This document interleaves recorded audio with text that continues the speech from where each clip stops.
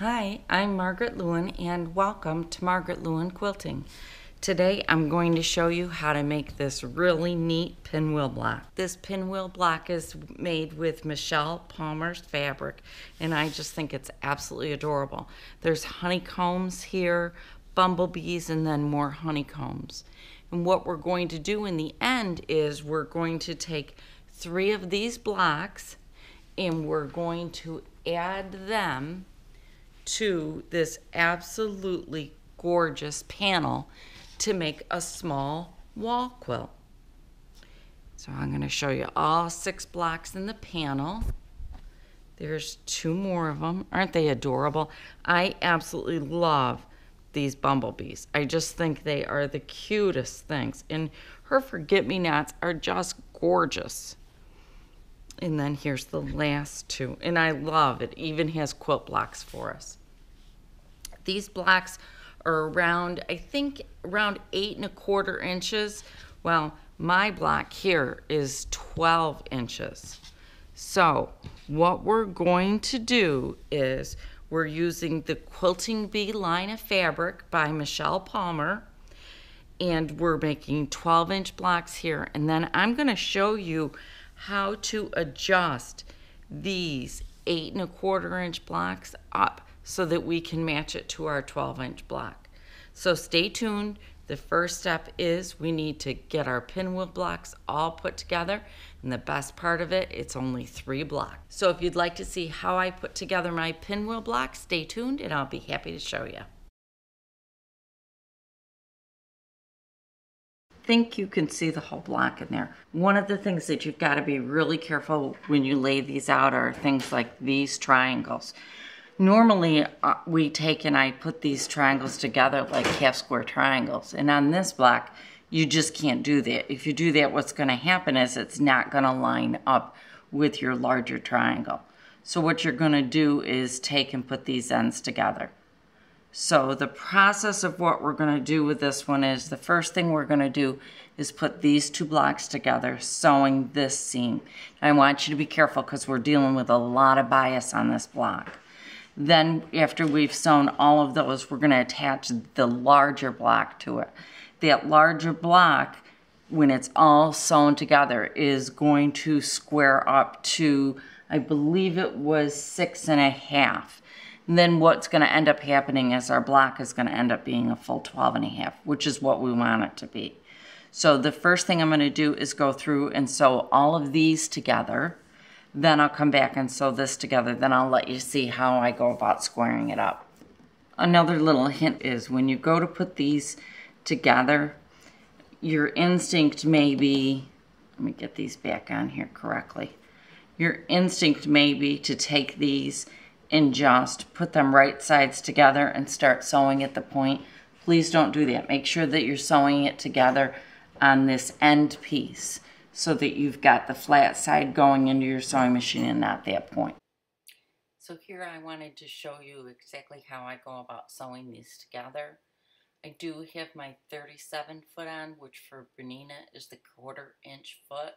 You can see I didn't have a plug to start with, so I did hold my bottom thread because I didn't want any problems with it.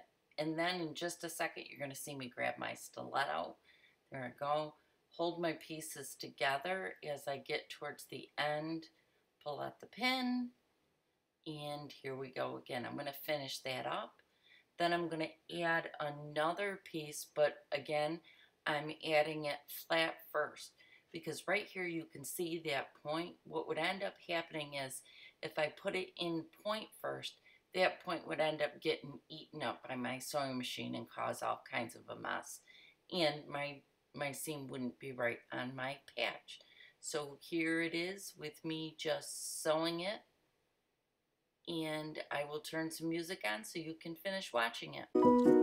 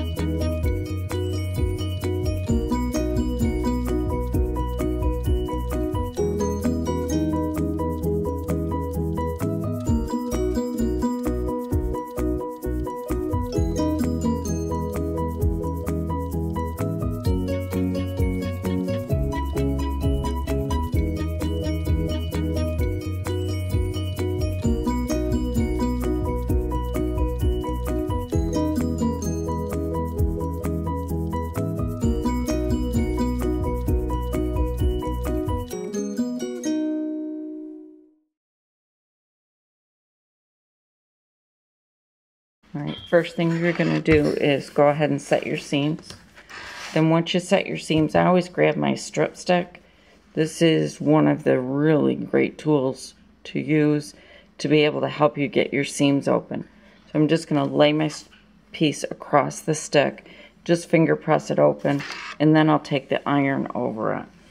And what that does is you end up with a really flat seam. So I'm going to do that to all four of my pieces, then we will work it, sewing them to the large triangle. All right, they're all ready to get pinned together. But one of the things I want to remind you on this block is make certain that you lay it down again. The reason being, when sewing these, if you sewed this edge instead of this one, what's going to end up happening is your yellow fabric or the bumblebees is going to be on the outside and not on the inside and then your pinwheel effect is going to totally disappear.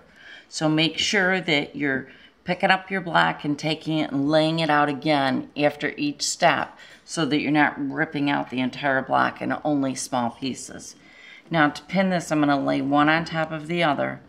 I'm going to pin my edges first, my points, at the outer seam or the outer edge. Then I'm going to pin the other side. And then once I've done that, then I'm going to lay it flat again and I'm going to pin my center. And we've purposely pressed the seams open because we want it to lay as flat as we possibly can.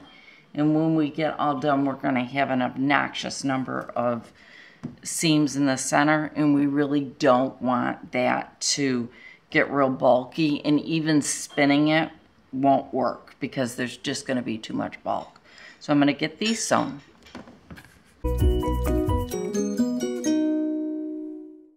All right, we're going to square this up. Now, where we're squaring it up to is the full six and a half. And it, in order to square this up, the best thing to do is to start with this line. So what you're going to do is take your ruler and make certain that your 45 stays straight on hmm. that seam right there. What's going to happen then is all of your four corners are just going to lie or end up laying exactly where they're supposed to. So you can see what I've got is here's my 45. It's going right down and staying right on there. And I've only got a little teeny bit to trim all the way around. So I'm going to start with this side and then go across the top. Then once I've done that, I'm going to turn it because I'm going to use this line again. So I'm going to take it, I'm going all the way to my six and a half here. I'm making certain that I keep my 45 degree line straight. And now I can just clip that right off again. And now I've got my nice six and a half inch block. I'm going to do that to all four of them. Then we'll come back and we will get it laid out and ready to put all four blocks together. Here is my block all sewn together. I'm going to flip it over and show you the back side. And see, I pressed all of my seams open. And I really think it goes together a lot easier when you press these seams open. The last thing that I did was took my 12 and a half inch ruler and just laid it down following the diagonal line here and just got it all nice and squared up. So that is how you are going to do your three pinwheel blocks, okay? Now, once we've got our pinwheel blocks done, I'm going to, I'm going to get you the other piece so you can see it. So next week, what we're going to do is learn how to cut up a panel so that you can take a smaller panel and add it to a quilt block that is made bigger. So I can't wait to show you exactly how we're going to do that next week. Thanks so much for joining me today while we made this pinwheel block. If you haven't already, please do subscribe don't forget, join our Facebook page so we can show everybody all the neat projects that we're working on. And I'll see you again soon for the next step of how to make this gorgeous pinwheel block. See you soon.